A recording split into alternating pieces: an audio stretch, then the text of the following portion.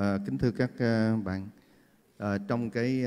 bài đầu tiên này tôi sẽ nói về cập nhật chẩn đoán và điều trị viêm phổi mắc phải cộng đồng. À, đối với cái nguyên nhân về viêm phổi cộng đồng đó thì à, theo cái nghiên cứu của Unshop từ những năm 2008 cho tới 2017 thì à, cái tác nhân gây bệnh của cái viêm phổi cộng đồng ở châu Á trong đó có Việt Nam của mình. À, đây là tác nhân gây ra viêm phổi cộng đồng à, cả kể cả nội và ngoại trú thì à, à, chủ yếu vẫn là phế cầu tức là Streptococcus pneumonia nó chiếm tỷ lệ khoảng 29%. Sau đó cũng là à, cái à, sự xuất hiện của những vi khuẩn thường gặp khác như là Haemophilus influenzae hoặc là chiếm tỷ lệ khoảng 15% các trường hợp và Morasana catalyst chiếm khoảng à, 5% các trường hợp. Đó là những cái tác nhân thường gặp trong cái à, viêm phổi à, cộng đồng. Nhưng mà đặc thù ở cái vùng trái Thái Bình Dương trong đó có Việt Nam mình thì ngoài ba cái tác nhân thường gặp đó chúng ta thấy rằng là nó còn có cái uh, những cái tác nhân là vi khuẩn gram âm. Ví dụ như Klebsiella pneumoniae chiếm tỷ lệ khoảng 15%, Pseudomonas aeruginosa chiếm khoảng 7%, và tụ cầu thì nó chiếm tỷ lệ khoảng 5%. Và trong cái nghiên cứu này người ta thấy rằng là ngoài các cái tác nhân vừa kể trên là được xem như là các cái vi khuẩn điển hình thì còn có những cái tác nhân là vi khuẩn không điển hình nó chiếm tỷ lệ khoảng 25% các trường hợp. Và là nguyên nhân là phối hợp của tác nhân vi khuẩn điển hình và không điển hình nó chiếm tỷ lệ khoảng 15 cho tới 20% các trường hợp. À, các cái xét nghiệm mà vi sinh thông thường của chúng ta thường chúng ta thực hành trong bệnh viện đó, thường chúng ta rất là khó kiếm ra được phế cầu hoặc là hemophilus influenzae. Bởi vậy cho nên đó, một cái nghiên cứu mới đây à, được thực hiện à, từ năm 2016 tới 17 tại Việt Nam của chúng ta mà được thực hiện bằng cái phương pháp nó gọi là real time PCR thì à, để xác định về cái tác nhân gây bệnh trong cái viêm phổi cộng đồng ở bệnh nhân nội trú là chủ yếu đó là nghiên cứu real thì trong nghiên cứu riêu này cũng cho thấy rằng là tác nhân chủ yếu vẫn là phế cầu chiếm tỷ lệ cũng khoảng gần 30%. Ngoài phế cầu thì cũng còn có hemophilus influenzae, Moraca catalyst và nó cũng tuân theo cái quy luật tức là ngoài những cái ba cái tác nhân thường gặp đó thì chúng ta cũng thấy có sự xuất hiện của những vi khuẩn trăm âm như là Klebsiella pneumoniae, như là Pseudomonas aeruginosa, thậm chí là Acetobacter pneumoniae. Nó chiếm tỷ lệ dao động trong khoảng từ 5 cho tới 15%. Ngoài những cái tác nhân này thì cũng còn có sự xuất hiện của những vi khuẩn không điển hình. Đây là đặc thù về tác nhân gây bệnh ở trong cái nhóm của bệnh nhân nội trú. Và mới đây nhất thì à, chúng ta cũng có làm một cái nghiên cứu gọi là nghiên cứu EACRI được thực hiện vào năm 2018 tức là mới năm ngoái và vừa kết thúc xong. Thì cái nghiên cứu này chúng ta cũng được thực hiện là để tìm tác nhân vi khuẩn bằng cái kỹ thuật gọi là real time PCR cho những bệnh nhân ngoại trú thì các bác sĩ mình cũng biết rằng là với những bệnh nhân ngoại trú thì thường thì à, chúng ta không không có làm cái vi sinh học do đó chúng ta ít biết được à, cái bộ mặt thật về tác nhân vi khuẩn là gì và kết quả của nghiên cứu EACRI cho các cái tác nhân gây bệnh viêm phổi cộng đồng ở ngoại trú được thực hiện bằng phương pháp uh, uh, real time PCR cho thấy rằng là cái chủ yếu cũng vẫn là tác nhân là Streptococcus pneumoniae nó chiếm tỷ lệ khoảng gần 40%. Sau đó là Haemophilus influenzae chiếm tỷ lệ cũng ờ, khá cao 30 cho tới 40% và khoảng 50% và sau đó cũng là những có sự xuất hiện của những vi khuẩn trăm âm. Như vậy thì ta thấy rằng là uh, uh, một vi khuẩn gram âm cũng có xuất hiện nhưng mà tỷ lệ thì uh, nó thấp. Thì đó là cái đặc thù của cái uh, về mặt di trùng học của Việt Nam của chúng ta. Và dù gì đi nữa thì từ năm 2008 và đặc biệt là tới năm 2012 thì chúng ta cũng biết rằng là Việt Nam của mình là cái dùng dịch tễ của phế cầu kháng thuốc ta gọi là cái tỷ lệ PSP à, à, phế cầu kháng penicillin rất là thuộc loại hàng cao trên thế giới. Trong cái nghiên cứu ăn shop đó thì cái tỷ lệ mà phế cầu kháng thuốc của chúng ta đó penicillin à, phế cầu mà kháng penicillin của chúng ta là 72%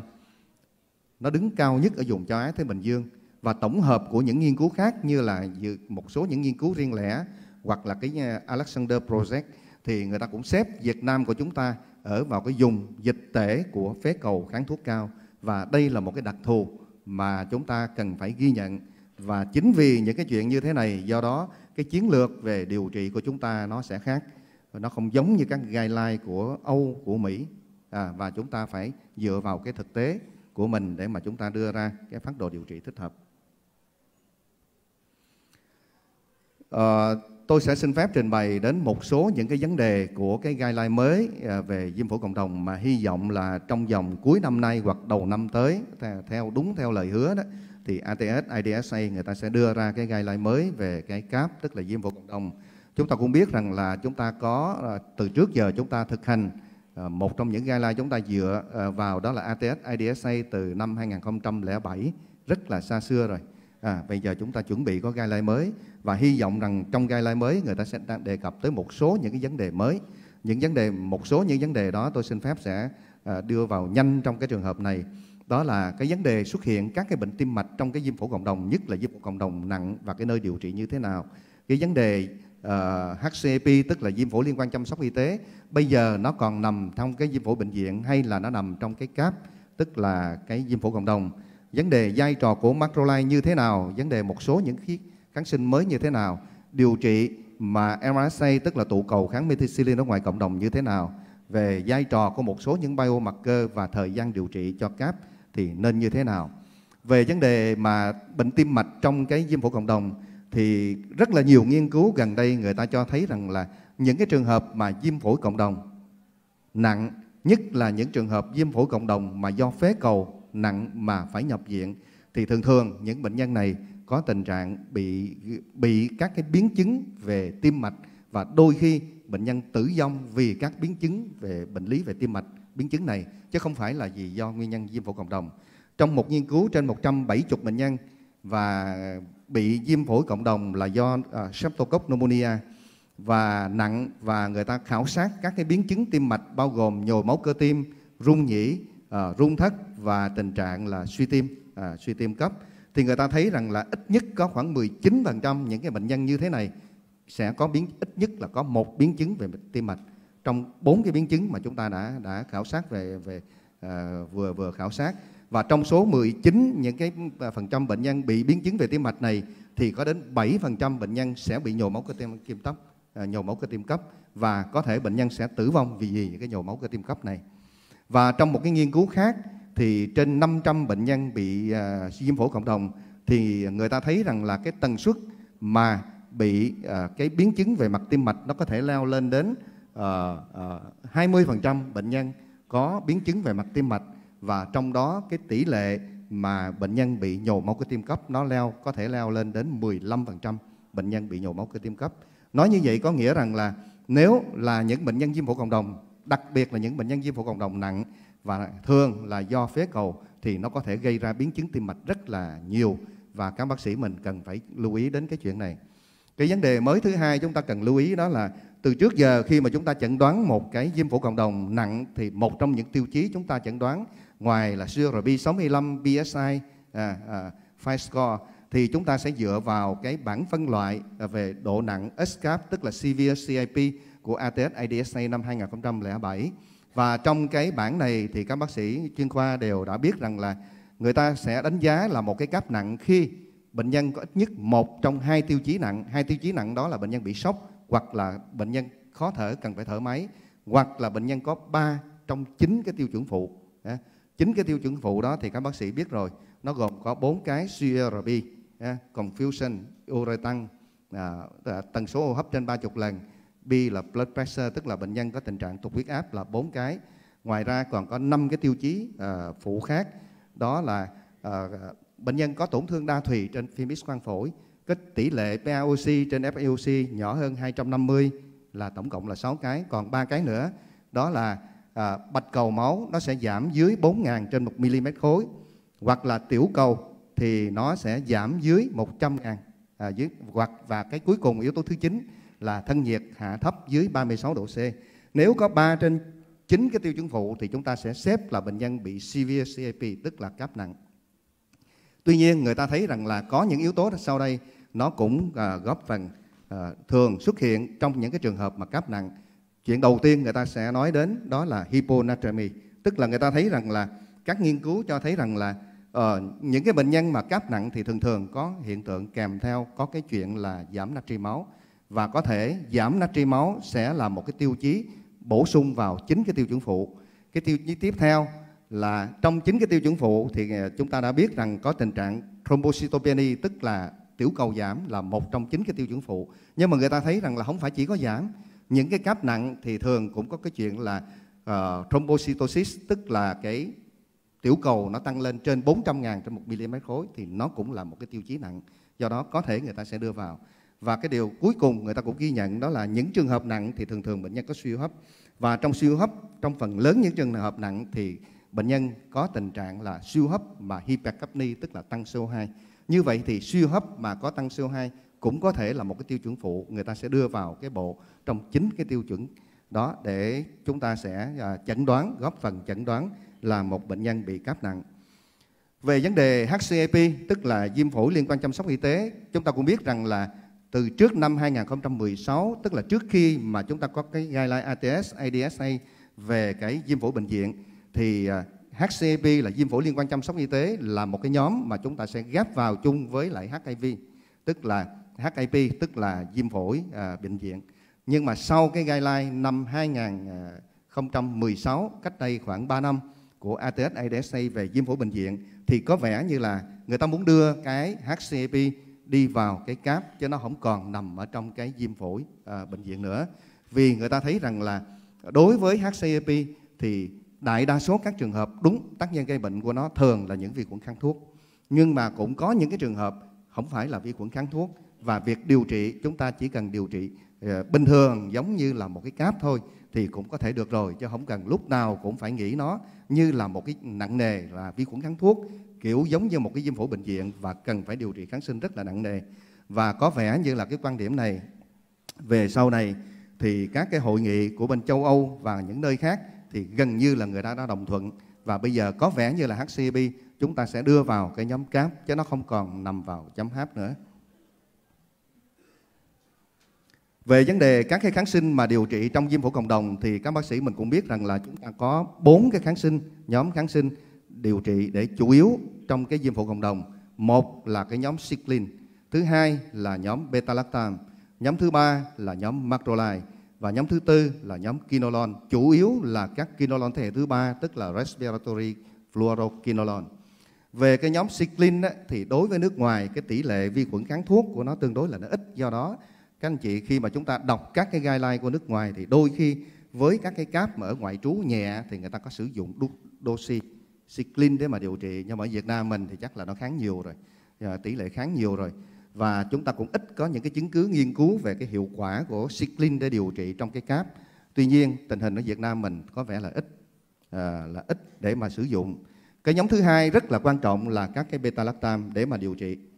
Thì các anh chị cũng biết rằng là từ năm 2008 sau cái nghiên cứu của Unshop mà tôi đã trình bày với các anh chị đó thì người ta thấy rằng là cái tỷ lệ mà PSP xuất hiện ở vùng châu Á Thái Bình Dương trong đó có Việt Nam của mình nó quá cao đi.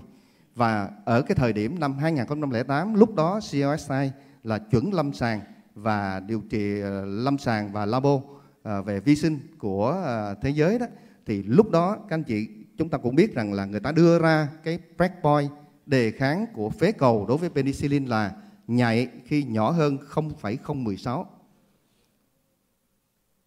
Intermediate khi từ 0,032 cho tới 1 microgram trên ml và resistant là lớn hơn 2 microgram trên ml. Nhưng chính vì cái tình hình mà PSP nó nhiều quá như vậy, do đó từ năm 2008 COSI mới đưa ra một cái cut off value về đề kháng đối với penicillin của phế cầu khác đi. Và từ năm 2018 người ta áp dụng một cái cut off value đề kháng như sau, tức là nhạy là nó dưới 2 microgram trên ml, intermediate là 4 microgram trên ml và resistant là 8 microgram trên ml. Trên lâm sàng khi chúng ta sử dụng kháng sinh thì chúng ta lấy cái mức gọi là intermediate và như vậy thì penicillin hiện nay beta lactam mà chúng ta muốn sử dụng mà có hiệu quả trên cái à, phế cầu thì chúng ta phải over được breakpoint đề kháng của nó là intermediate là 4 microgram trên ml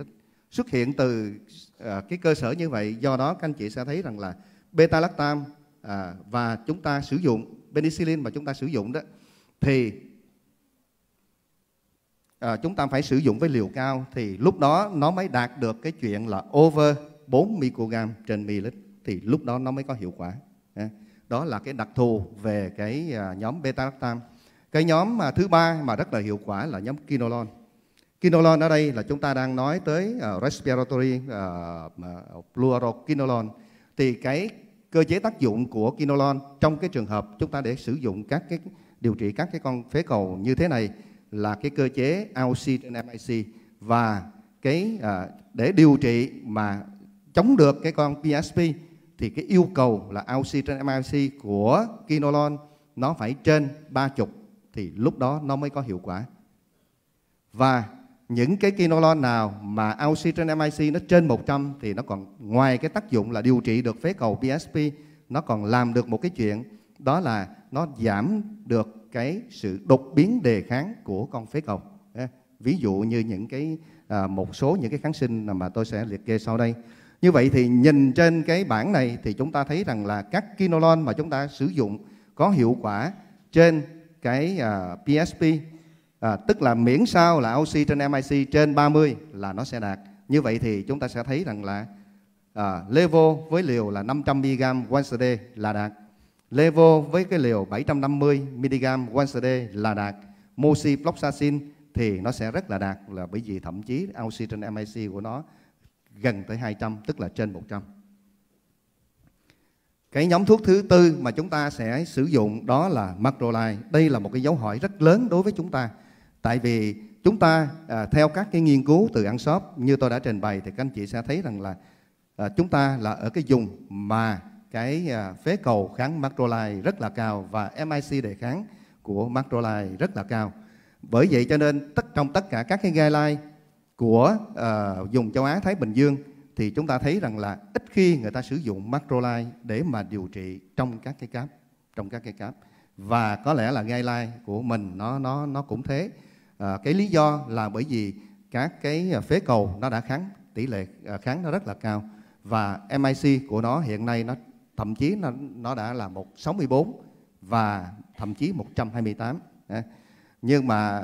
ATS guideline người ta đưa ra đó, người ta nói rằng là ở những cái vùng nào dùng quốc gia lãnh thổ nào mà mức đề kháng của phế cầu PSP đối với macrolide trên 25% và MIC trên 16 microgram trên ml thì dùng đó là dùng dịch tễ của phế cầu kháng macrolide và cần phải hạn chế cái việc sử dụng macrolide để điều trị. Do đó, chúng ta thấy rằng là các cái guideline của cái dùng trái Thái Bình Dương ít khi sử dụng macrolide để mà điều trị. Nhưng mà thực sự thì sao? Có rất là nhiều nghiên cứu người ta thấy rằng là uh, trong những cái trường hợp mà viêm phổi nặng đó, nếu mà chúng ta phối hợp một kháng sinh thường là một beta lactam kết hợp với một cái macrolide nó compare với một cái beta lactam cộng với một cái kinolon đó là cái kiểu mà chúng ta thường xài thì chung cuộc người ta thấy rằng là ở cái nhóm mà sử dụng beta lactam cộng macrolide thì tỷ lệ tử vong trong những cái trường hợp mà cáp nặng, viêm phổi cộng đồng nặng thì nó lại đỡ hơn nhiều, tốt hơn nhiều so với nhóm beta lactam cộng với lại kinolon và một cái nghiên cứu cũng khá bản lề, nổi đình nổi đám, đó là nghiên cứu CAP STAR study. Trong cái nghiên cứu này, người ta so sánh ở 6 bệnh viện trên một số lượng lớn bệnh nhân. Người ta so sánh về cái hiệu quả điều trị cáp ở cái à, nhóm là ờ, uh, beta lactam so với beta lactam cộng với macrolide cộng so với beta lactam cộng kinolon thì kết quả người ta thấy rằng là nhóm beta lactam kết quả điều trị không hề thua sút so với các cái nhóm kia. Tuy nhiên người ta coi lại cái nghiên cứu này thì người ta thấy rằng là cái tỷ lệ của vi khuẩn không điển hình rất là thấp, nó chỉ chiếm tỷ lệ khoảng 2%. Và trong một cái uh, nghiên cứu này thì người ta thấy rằng là trong cái nhóm mà kết hợp beta lactam cộng với macrolide thì so với những cái monotherapy khác bao gồm ceftriaxone, nhóm beta lactam, nhóm quinolone, à, nhóm penicillin thì cái tỷ lệ tử vong của cái nhóm mà có kết hợp với macrolide thấp hơn nhiều so với các cái đơn trị mà đã à, à, mà trên bay. Và trong cái nghiên cứu này người ta thấy rằng là cái nhóm mà kết hợp beta lactam cộng với macrolide so với beta lactam cộng với quinolone thì cái nhóm beta lactam cộng macrolide nó làm giảm được cái tỷ lệ cái thời gian mà bệnh nhân phải nằm viện được thêm khoảng 3 ngày. Như vậy về tổng kết về cái vấn đề sử dụng của macrolide trong cái viêm phổi cộng đồng thì người ta thấy rằng là với những trường hợp nhẹ hoặc là những cái nơi mà cái tỷ lệ của viêm phổi à, không điển hình thấp thì vai trò macrolide nó không có cao. Tuy nhiên, ở những cái trường hợp mà bệnh nhân bị viêm phổi cộng đồng ở mức độ nặng, severe CFP thì lúc đó cái công thức điều trị là beta lactam cộng với macrolide tỏ ra là cực kỳ là hữu hiệu và thậm chí còn hữu hiệu hơn cả công thức điều trị là beta lactam cộng với quinolone. Nguyên nhân tại sao? Người ta thấy rằng là nguyên nhân có thể là do cái vai trò về cái tính chất kháng viêm anti-inflammation của macrolide và cũng như là cái tác dụng uh, immunoregulator modulator tức là điều hòa miễn dịch của macrolide và nó làm ra được cái hiệu quả là beta lactam cộng với macrolide tốt hơn cả beta lactam cộng với quinolone cho các trường hợp mà cáp nặng và từ đó người ta nghĩ rằng là nên chế ra, tìm kiếm, chế ra những cái macrolide nào mà là cái tính kháng viêm và tính điều hòa miễn dịch của nó cao lên. Lúc đó thì cái hiệu quả khi chúng ta sử dụng thì nó sẽ tăng lên. Như vậy thì beta lactam cộng với một cái macrolide hiện nay hoặc là macrolide trong cái viêm phổi cộng đồng, chúng ta có thể sử dụng trong những trường hợp nào? Có vẻ như là chúng ta có thể sử dụng hiệu quả trong các trường hợp. Thứ nhất là bệnh nhân có à, bệnh nhân ngoại trú mà ở dùng dịch tễ của phế cầu kháng thuốc. Trường hợp thứ hai là bệnh nhân ngoại trú nhưng mà có những cái bệnh đi kèm comorbidity. Trường hợp thứ ba là bệnh nhân nội trú ở mức độ trung bình mà nằm điều trị tại khoa nội hô hấp. Và có thể là trường hợp thứ tư là trường hợp nặng nằm ở ICU nhưng mà không có nguy cơ nhiễm những cái vi khuẩn đa kháng. Thì việc chúng ta sử dụng combo công thức beta lactam cộng macrolide có vẻ là có hiệu quả. Đây là một số những cái kháng sinh mới chúng ta hy vọng đến năm khoảng năm 2020 nó sẽ ra đời và nó góp phần trong uh,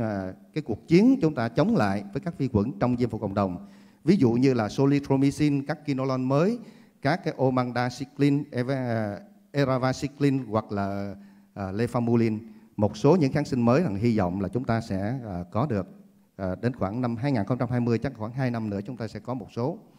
như vậy chúng ta thấy rằng là trong cái viêm phổi cộng đồng thì vi khuẩn kháng thuốc gia tăng. Sự xuất hiện phần nhiều của PSP là phế cầu kháng thuốc các vi khuẩn gram âm thậm chí là tụ cầu mà kháng methicillin. Do đó việc điều trị thì chúng ta phải cần phải à, lựa chọn à, những cái kháng sinh để mà điều trị hết sức thích hợp. Phần trình bày của tôi đến đây là hết. Xin cảm ơn sự theo dõi.